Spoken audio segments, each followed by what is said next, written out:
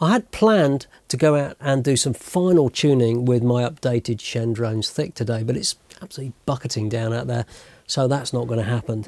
So I thought I'd do a quick video to bring you up to date with what's been happening with this. Hello and welcome to the Whirly Bloke channel. This is YouTube, you know what to do. Subscribe and hit the bell for more videos like this. When I first built this Shendrones Thicc last year, it was for a very specific filming project. And since then, it's done a lot of work. I've flown it a lot and it's been flown by a lot better pilots than me. But over the last two months, I've made some improvements and upgrades to this to fix some very particular problems that we noticed whilst we were filming. So first off, this has been upgraded on the back here to use the Matek M9N GPS module. This is the same as I used on the AOS 7 and it's performed flawlessly and it's on my high-rise mount to keep it away from the power leads. We've gone up to 8 inch props on here. These are HQ 8x4s. There's plenty of torque in these Brother Hobby Avenger 1300 kV motors to drive these and it gives me plenty of lifting power. It's fantastic. The only problem with 8 inch props is price. So one of these props costs about the same as a set of four equivalent 7-inch props. Quite expensive. Other changes that are made to the frame, there's now a new top plate on here to mount the camera and this is mounted on these fantastic alpha gel dampers. These aren't cheap, they're about $5 each, so there's $20 worth on this particular top plate alone.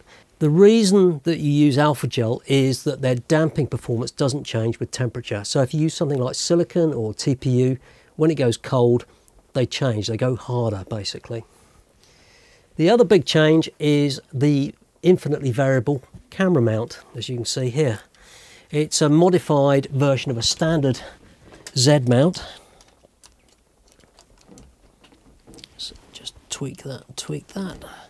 Infinitely adjustable. You can do what the hell you like.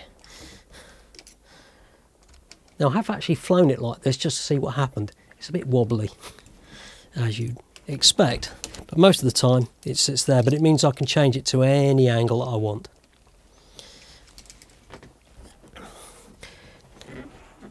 The other change we've made is originally this was flying on the Lumix GH5 and after the first bit of filming, we changed over to the Blackmagic Pocket Cinema 4K, which has been great. It really is a much more suitable camera for doing this type of work. It doesn't have any built-in stabilization, which is exactly what you want. You do all your stabilization in post, and the image is fantastic. And the reason that you don't want to use a camera with in-body stabilization is because even if you turn it off, the sensor is still soft mounted and it will keep wobbling around when you're flying. For image stabilization in post, I was originally using the SteadXP gyro unit that bolts onto the top of here and they've got their own software. I'm now using an Insta360 Go 2 which we just mount on the bottom of the plate. And we use the gyro output from that as the source for Gyroflow. And the footage off this is fantastic. And after a lot of testing with different lenses, basically settled on this Laowa 7.5 f2.0 prime lens. It really is fantastic.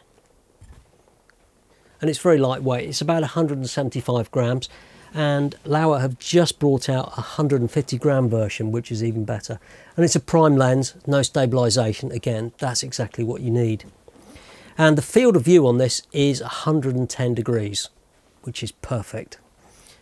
And importantly, it's a rectilinear lens. So any straight lines, vertical lines at the edge of your image, they stay straight. It's not like a GoPro. And then on the front of here, we've got an infinitely variable ND filter. This starts at ND2 and goes up to ND2000, so it's almost black and it acts as a lens protector as well. And generally when flying this, we'll put some bubble wrap around the back here just to protect the screen.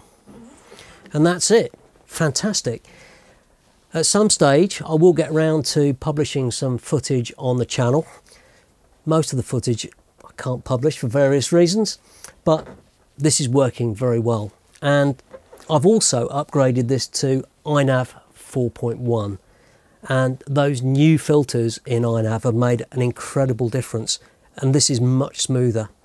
Although I had to knock down the filter frequency down to about 80 Hertz to cope with these bigger props. But it flies fantastically. Well, there you go, quick update. As always, thanks for watching, and if you found that useful, why not subscribe or maybe buy me a coffee to support the channel. And I'll see you next time.